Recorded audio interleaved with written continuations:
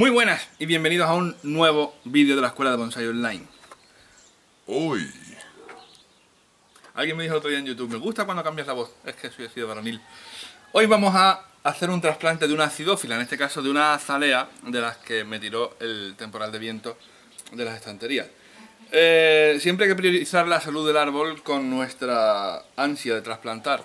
Yo la he mantenido en su maceta rota hasta que ha dejado de florecer, porque ya tiene las dos flores que ha sacado marchitas.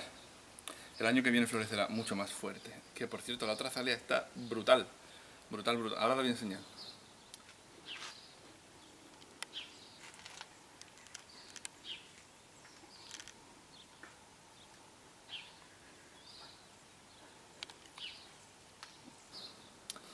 ¿Veis? Bueno, pues aquí tenía otra flor. Ahí.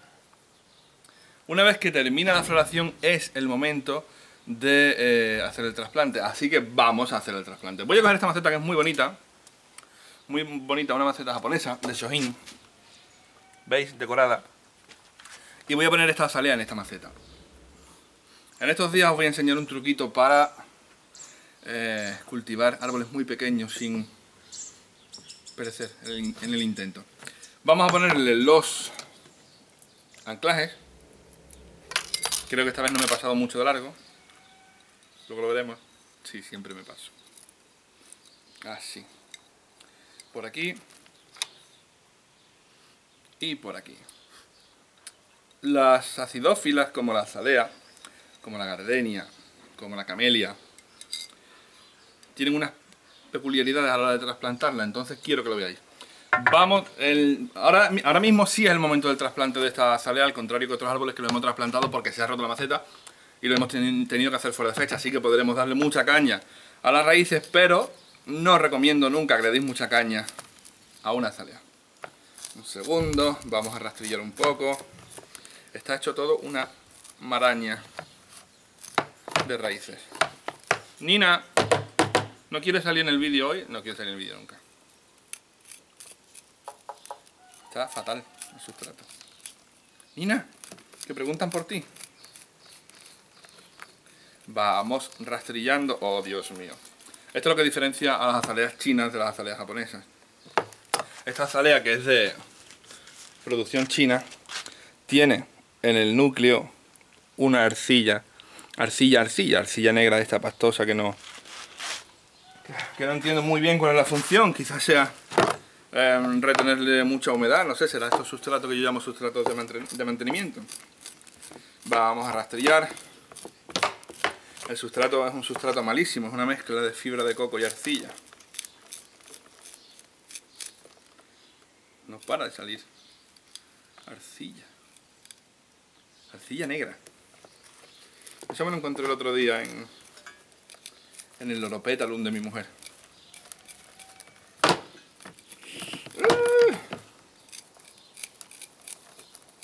Qué cosa más mala de sustrato. Bueno, sustrato. Ah, los sustratos se ofenderían mucho si llamara a estos sustratos.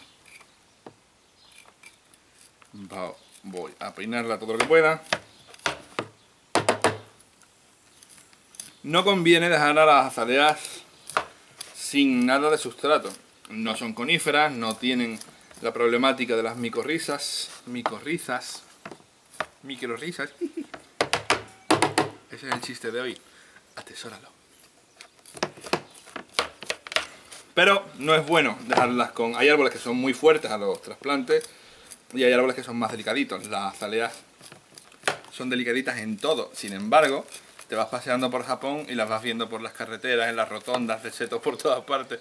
Allí se dan muy bien, pero no estamos en Japón ni tenemos el clima del japonés, que es bastante peculiar. Bueno, pues ya esto está quedando más o menos rastrillado. Estoy aprovechando para buscar un poco el nevari a ver si puedo enseñarlo. Estas son de estas azaleas de 20 euros que vendí hace poco. Y esta no se vendió. Y como otros árboles que no se venden, pues se quedan para mi mujer. Árboles que dan flores. El Solanum se quedó para mi mujer. El, el, esta azalea se quedó para mi mujer. La, adelfa se quedó para mi mujer también. Ella está encantada, claro, de que no se venda.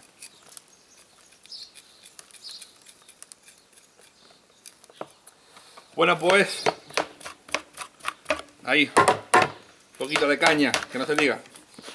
Que está en su momento para el trasplante. Las azaleas, repito otra vez, hay que trasplantarlas después de la floración. No antes de que empiecen a brotar como el resto de los árboles del mundo. Es la norma general. Bueno, pues vamos a dejarla ya así, ¿no? Le hemos quitado mucha mierda de sustrato de este, qué horror. De sustrato. Mirad qué gráfico. Se ve que todo esto de aquí, todo esto de aquí es arcilla y alrededor lo que tiene es la fibra de coco. O sea, sustrato malo y sustrato malo. Ya tenemos nuestra azalea, vamos a aprovechar para darle un poquito de forma porque se está yendo así un poco, está cogiendo la ley de la rectangularidad. Vamos a aprovechar que le hemos quitado raíces para rebajarle la parte aérea de una forma estética, que es como una escobita. Porque si yo le hago esto cuando tiene flores, seguramente mi mujer me araña la cara. Con razón. A ver. Más o menos. Más o menos.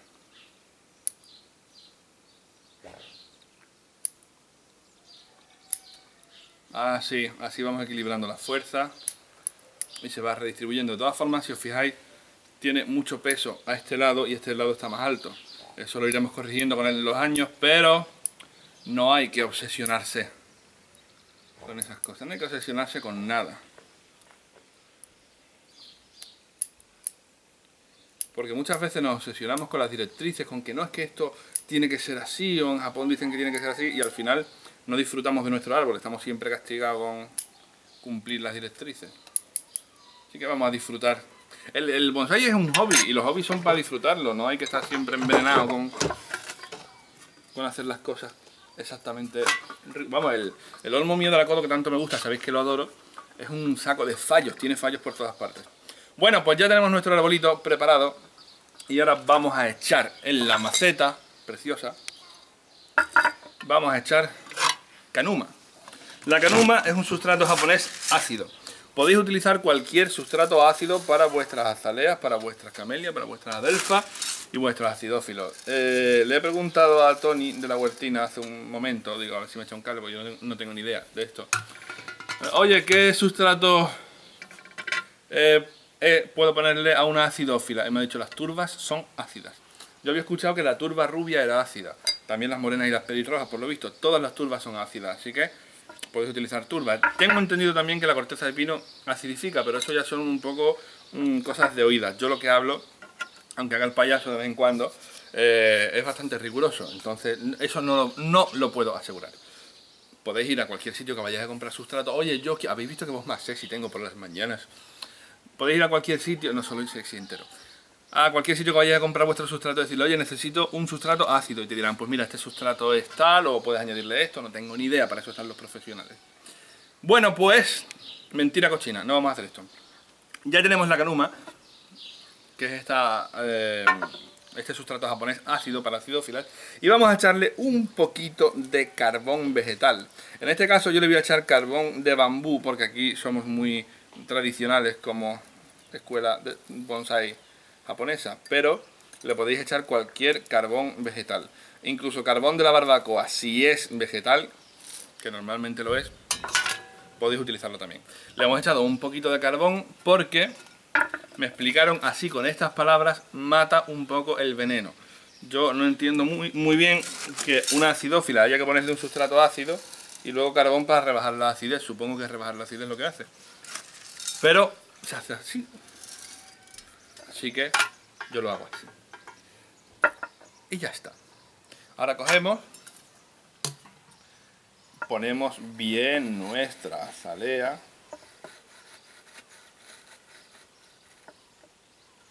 Permitidme que eche un vistacillo.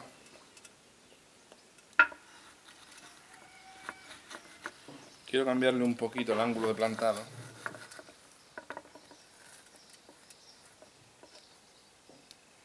Así, qué guay. Así, vale. Y ahora vamos con los... ¡Ah, no te muevas!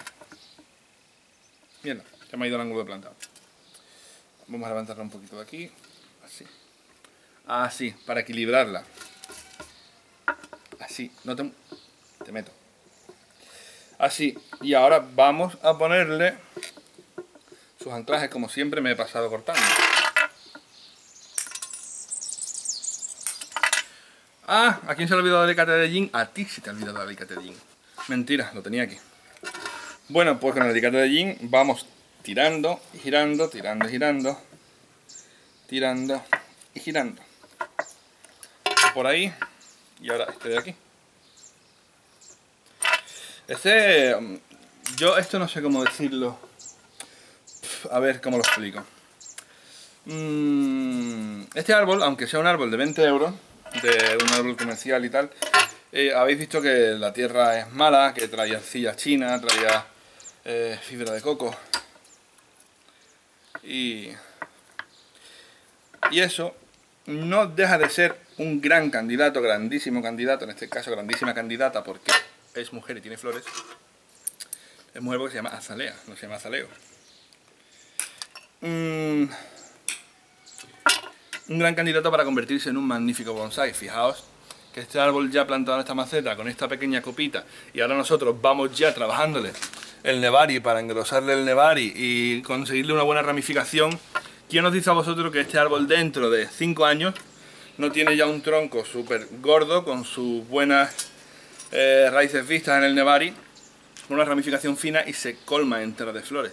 Ningún bonsai es indigno todo bonsai es susceptible de ser una gran pieza sometido al magnífico trabajo de alguien que le dedica tiempo y mucho cariño.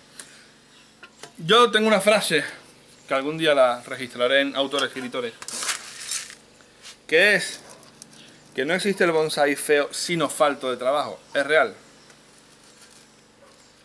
Es real.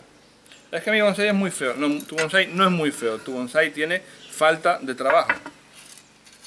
Seguro que sí, no, aunque sean fallos que sean incorregibles, eh, conicidades, mm, conicidad, inversa, eh, con estrechamientos en la base, que tenga, yo que sé, ramas mal posicionadas, lo que sea, todo es susceptible de ser mejorado y trabajado.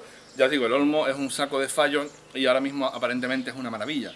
Mm, lo veis y parece una pieza de Goku Futen tirando por corto, pero cuando se queda desnudo veis que tiene las ramas muy mal colocadas pero claro, eh, tiene muchísimo trabajo de recolocación de ramas y historias y, todo se puede arreglar. El ficus grande, del injerto grande, ese ficus visteis que tuve que quitarle todas las ramas y darle solo tres porque estaban todas mal colocadas y fijaos, llevar el árbol conmigo ya eh, nueve años y, y ya está cogiendo una pinta magnífica. Voy a coger el palillo que se ha vuelto a olvidar. Que no estáis en lo que tenéis que estar. Ah, no, que está aquí. la magia de la edición. Bueno, vamos, aquí hay poco que meter en las raíces, la verdad, porque no tiene un buen sistema de raíces porque no tenía un buen sustrato. Vamos metiendo, en la medida de nuestras posibilidades, la canuma para que se mezcle lo mejor posible con el sustrato que ya tenía. Y os habréis fijado que por dejar el nevari más expuesto, las raíces han quedado muy en la superficie por lo que en un caso normal de un trasplante, normal de un bonsai cualquiera, no acidófila quiero decir, tendríamos que ponerle una capita de musgo sphagnum o de musgo de cualquier tipo, no os comáis la cabeza con los nombres, en la superficie. Pero es que además, a las acidófilas que llevan canuma, siempre hay que ponerle una capa de musgo sphagnum encima, porque la, Canuma es un sustrato muy liviano, muy liviano, es muy poroso, es muy vaporoso y, y el, vamos, no la puedes sumergir porque flota, saldría toda la canuma a la superficie. ¡Hombre, Nina! ¿Cuánto tiempo? Nos decía, oye la vida, Nina, que no aparecen los vídeos. ¡Boom! Toma, Nina. Y mm, lo que pasa es que está pelada. está pelada porque tenía muchos nudos y le hicimos, la llevamos a hacerle la manicura y la pedicura la paticura. Y nada, qué guapa está. Parece, ahora parece de algodón. Entonces, lleva una capa de musgo sphagnum encima para que el sustrato no se mueva en absoluto. Veréis. Soy un puerco. Pero os gusta. Así cuando la liáis vosotros en vuestra casa, ¿no? Pero es que David lo hace así. Mirad, vamos a coger un poquito de musgo sphagnum. Musgo de fibra larga. Y lo vamos a poner por aquí encima. Lo vamos a poner por aquí eh, encima. Esto se hace siempre con los árboles que han quedado con las raíces muy cerca de la superficie, porque lo hemos elevado un poco para eh, mostrar el nevari. Pues la Nina se está acariciando con mi brazo. Mirad, mirad. Como estoy moviendo el brazo, pues viene ella y se acaricia sola. Como no la acaricio yo. Cuando quedan las raíces muy expuestas, porque hemos querido subir la altura del árbol en el nivel de la maceta para enseñar el nevari, y también es una forma que el nevari o las raíces que entran en la tierra, la parte que está al aire, por el contacto con el sol, con el aire y todo, empiezan a lignificar y a engrosar más rápido. Entonces cuando nosotros queremos conseguir mayor conicidad, una técnica es precisamente elevar el árbol y sacar la parte que queremos hacer la cónica del sustrato. Seguimos con el musgo sphagnum. Repito, no, de verdad no os comáis la cabeza con, los nombres. Oye, que yo le echo canuma, le puedes echar cualquier sustrato que sea ácido. Dice Tony que, la, que las turbas son ácidas, pues turbas. Yo había escuchado en serio de las turbas rubias. Em, que yo le pongo musgo sphagnum y tú no consigues sphagnum, cualquier musgo de fibra larga aplicado así tal cual, lo estás viendo, no tiene más. Eh, es decir, esto se utiliza con un objetivo, no con un nombre. No importa que sea musgo de sphagnum. Lo que hace el musgo de sphagnum en este caso es mantener la humedad del sustrato para que la parte que se seca primero siempre es la superficie. Entonces esto va a mantener la superficie más húmeda. Eso en el caso de los bonsai a, los que les ponemos musgo sphagnum porque eh, hemos dejado las raíces muy expuestas. En el caso de las acidófilas lo que hace este musgo es entrelazarse con los granos de canuma y sujetarlos. Esto ahora mismo vamos a hacerle un riego por la superficie.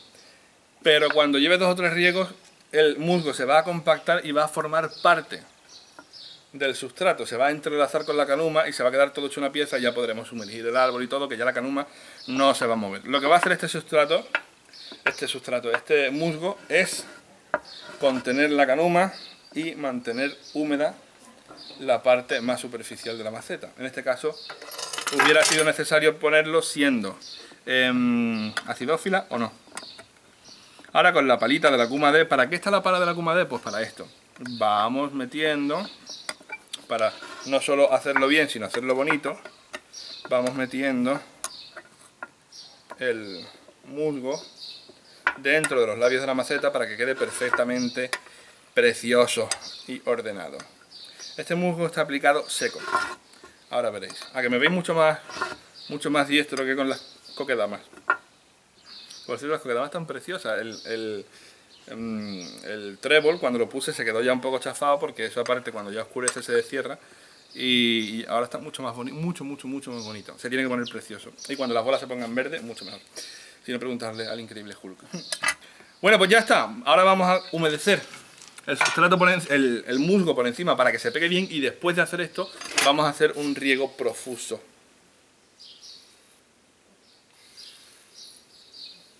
Se me ha atascado.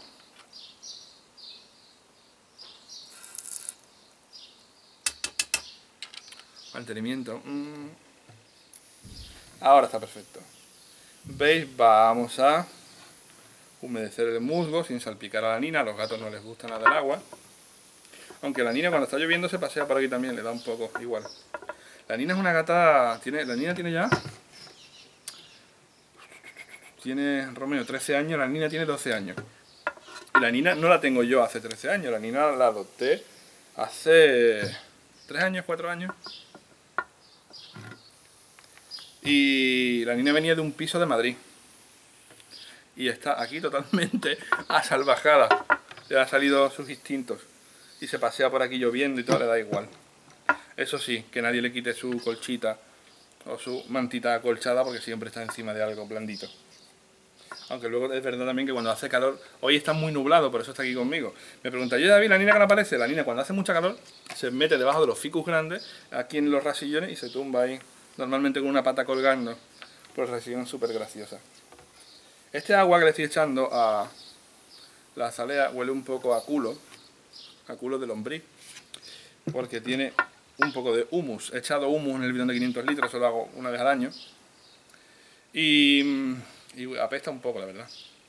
No, David, el humus del lombriz no huele. claro que sí, campeón.